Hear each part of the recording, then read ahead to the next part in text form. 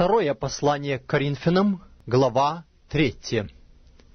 Неужели нам снова знакомиться с вами? Неужели нужны для нас, как для некоторых, одобрительные письма к вам или от вас?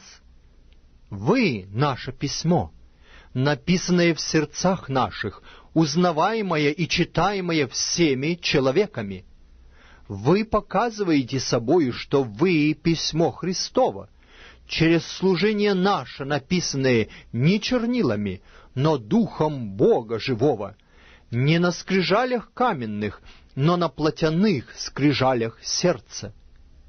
Такую уверенность мы имеем в Боге через Христа, не потому, чтобы мы сами способны были помыслить, что от себя, как бы от себя, но способность наша от Бога.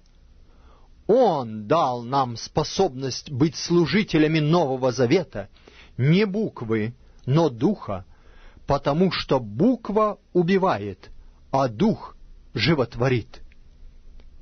Если же служение смертоносным буквам, начертанное на камнях, было так славно, что сыны Израилевы не могли смотреть на лицо Моисеева по причине славы лица его приходящей, то не гораздо ли более должно быть славно служение духа?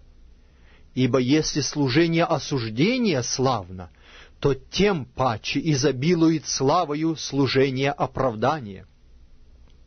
То прославленное даже не оказывается славным с сей стороны по причине преимущественной славы последующего.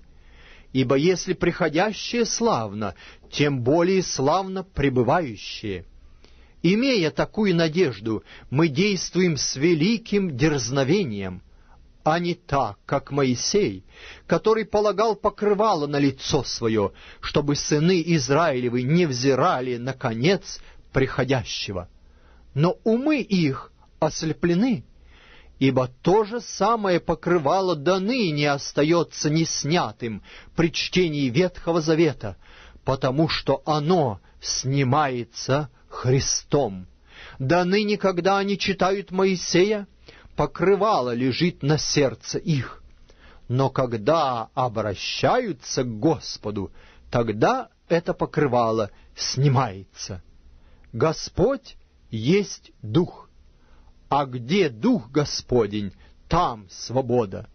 Мы же все открытым лицом, как в зеркале, взирая на славу Господню, преображаемся в тот же образ от славы в славу, как от Господня Духа.